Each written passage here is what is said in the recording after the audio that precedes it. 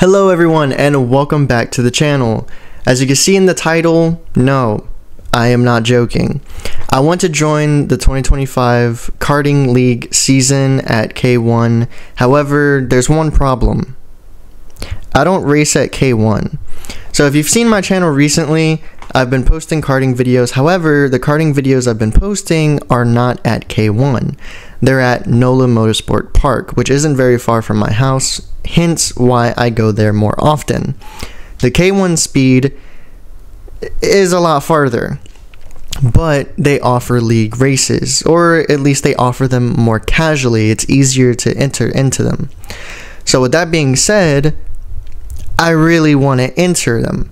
I'm trying to join the 2025 season. It's not very far. We're currently in October, and the new season, I believe, starts on the first month of the new year, which is January.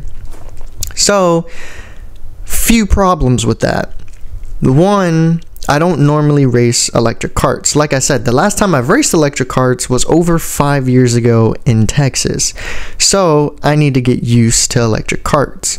Two, again, I haven't raced that K1 in over five years, so I need to get used to their tracks, their rules, and everything that revolves around their seasons. So, what better way to do that than to go race there. So I went on a Wednesday, which ended up working out perfectly because apparently Wednesdays weren't that busy or aren't that busy at K1. I went like around 3 o'clock and it was absolutely empty. Uh, they had a small corporate party in there, but other than that, I was the only person there for an arrive and drive. So I pretty much had the whole track to myself, which for a video, most people think that's kind of boring, but in my case, as someone who just wanted to learn the track, track and learn the environment of K1. That was honestly best case scenario. So as you can tell here, the employee is just going over the rules, which they are very thorough with, and not before long, we were in the cart. That's cool. Ready?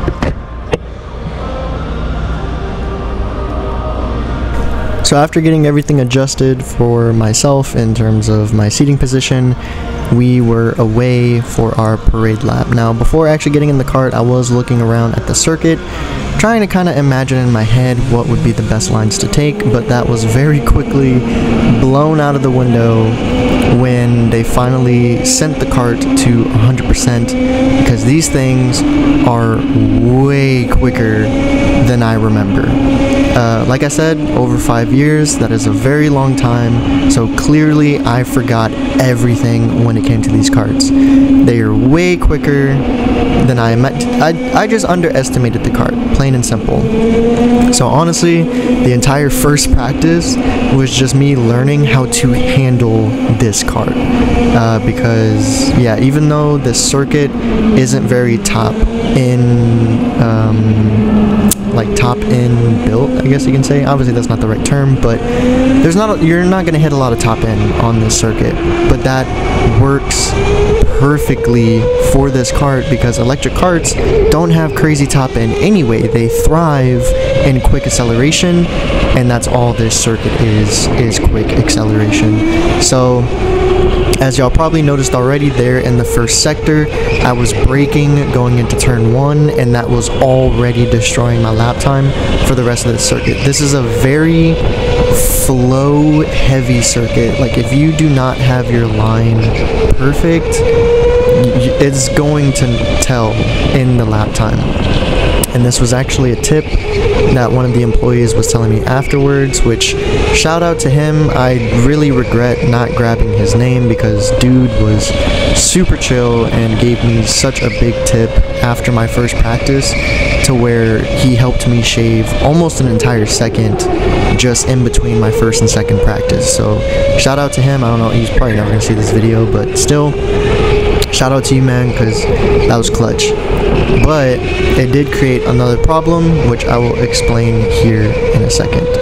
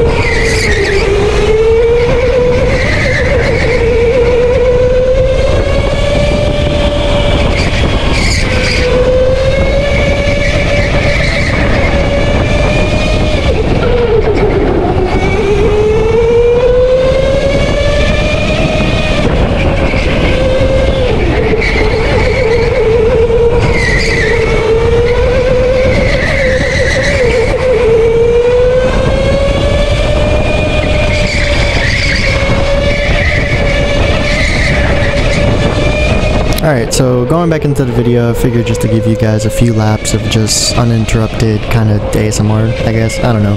But regardless, I start getting more confident in certain areas, but I'm still braking on that sector 1, turn 1, and it's killing my time. Uh, obviously, I don't know it at this moment. Honestly, I thought I was doing fairly good, which apparently I was for a first timer, but as far as league pace, at the time of this, you know, in, in my first practice, I was two seconds off league pace. And Again, that is what the employee tells me after this practice. Uh, along with that, apparently I can't record. Apparently, K- I don't know if it's all K1s or if it was just this one, but apparently they have a rule where you can't record with your personal cameras. Uh, but he was telling me for league races, uh, they do supply cameras for those who want to record this ra- their races, which I don't know. I kind of understand it, but at the same time, that kind of sucks um, because their cameras don't look very high end.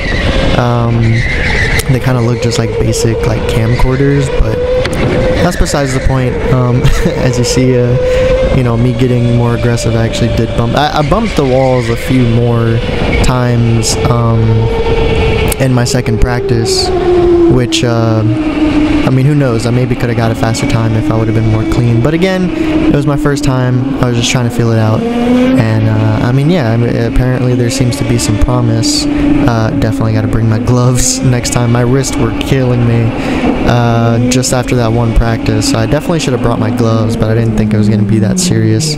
Um, but once again, underestimated the electric cart.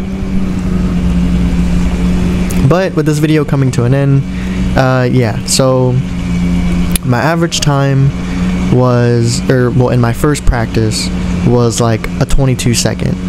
Um, however, with the tip that the employee ends up giving me, which was, which basically was to not brake going into turn one, he said to lift but not to brake, and that drastically brought my time down. Uh, I started, I instantly started running 21s, so I was still one second off the league pace. However, again, you know, I was bumping the wall a little bit more because with that tip that he gave me, obviously I was way faster through turn one, but then that started creating issues for the slight uh, S turns going into turn two because now I was carrying way too much speed and I just didn't figure out how to handle the back section of the course. So hopefully next time when I go practice, uh, I can figure that out. It does suck though, because like I just said, it, apparently I'm not gonna like right here. The employee was asking me uh, if I was recording because he was saying his manager told him that I can't be recording. That's basically what that conversation was. Um, so yeah, so unfortunately I might not be able to record my future practices there until I join the league because he was saying that it's only during the league races where they allow people to record or things to be recorded, whatever. Um, but yeah, so here was the times.